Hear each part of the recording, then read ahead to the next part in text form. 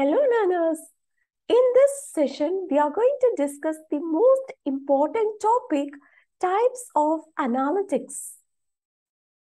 So people in the industry are talking about data analysis, analytics, data science, data analytics, business analytics, right? So what is this analytics? What are the types of analytics? What can we do with this analytics? So do you have all these questions? Look into this video and get a clear understanding of it. So first of all, let us try to understand what is analytics. Very simple, not complicated to understand the terminology. Analysis we say, right?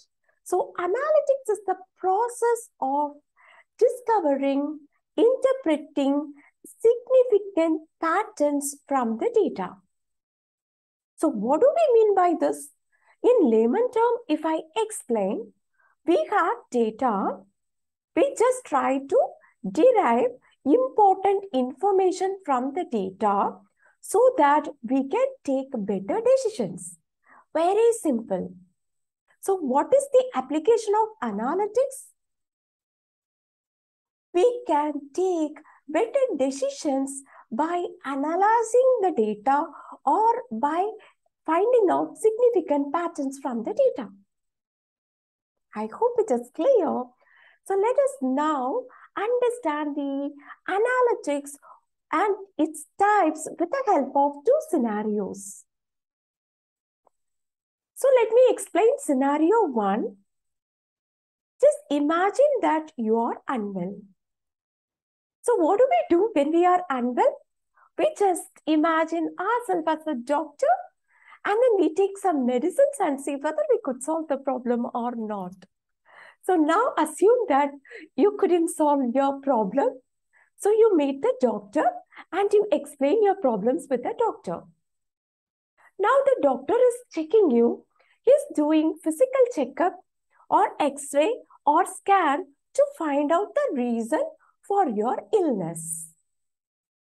Then the doctor is telling about the future, like at least now you have reached the hospital. Otherwise, it could have taken to some sort of complications in the future.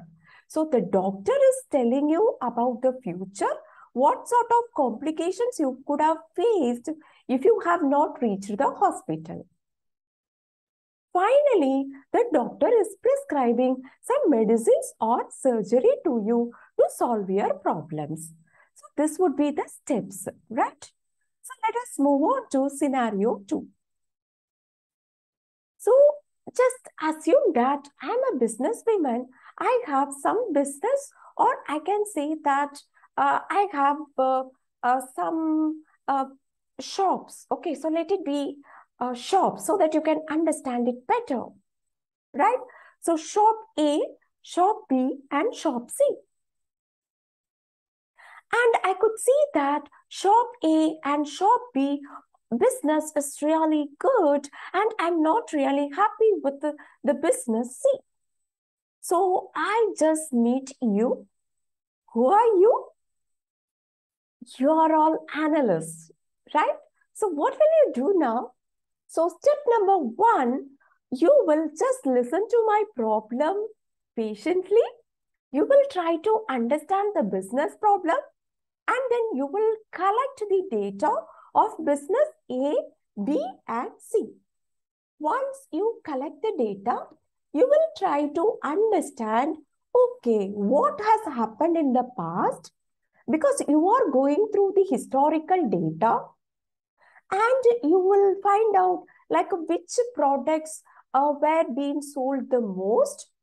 For which products there was a high demand which product there was a less demand and what was the average expense.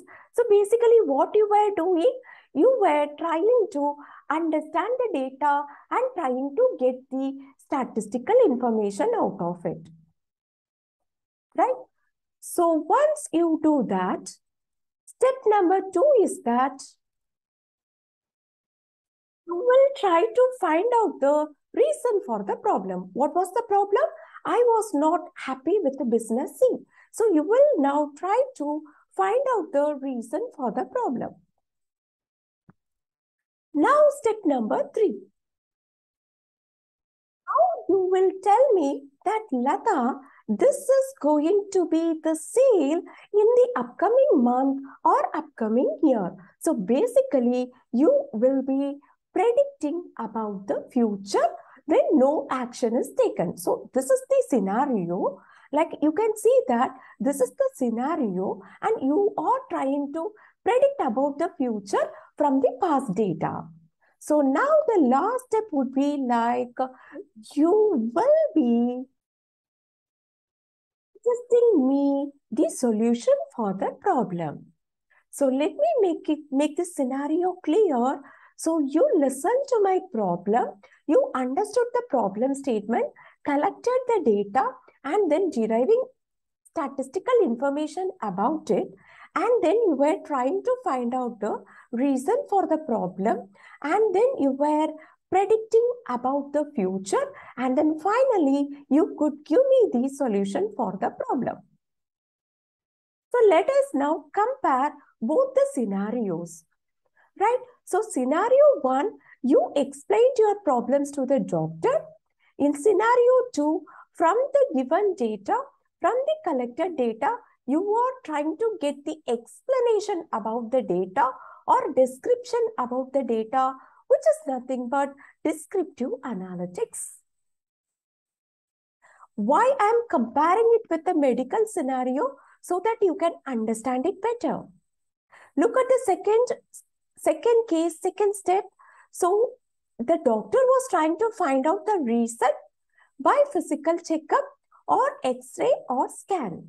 So in the medical domain, how do we call this? Diagnosis. Exactly. You are right. So here also, you are trying to find out the reason for the problem, which is nothing but diagnostic analytics. The third step, the doctor was uh, telling you about the complications in the future in case if you didn't meet the doctor. The same thing is happening here. You are just predicting about the future. What could be the sales? What could be the expected sales in the upcoming months or years? How do we call this as predictive analytics? The final step is that the doctor would be giving some medicines or surgery, right? So how do we call it in medical term? Exactly. Brilliant prescription, right? So when you try to give me the solution for the problem, this is basically prescriptive analytics. So let us quickly try to understand it. So first step, we have to start with descriptive analytics, which is nothing but what happened in the past. Second step is diagnostic analytics. Why did it happen? The third one is predictive analytics. What will happen in the future? The final step is prescriptive analytics. What actions need to be taken? If you see that, it should go in this order. If you are trying to do predictive analytics, before that you have to do descriptive analytics, diagnostic analytics, then only you have to do predictive analytics. Right? So this step is very important, prescriptive analytics. That is, that is going to be helpful to take the decisions. I hope this, this has given you a clear understanding about types of analytics. So if you have any questions, you can put it in the chat window. Thank you.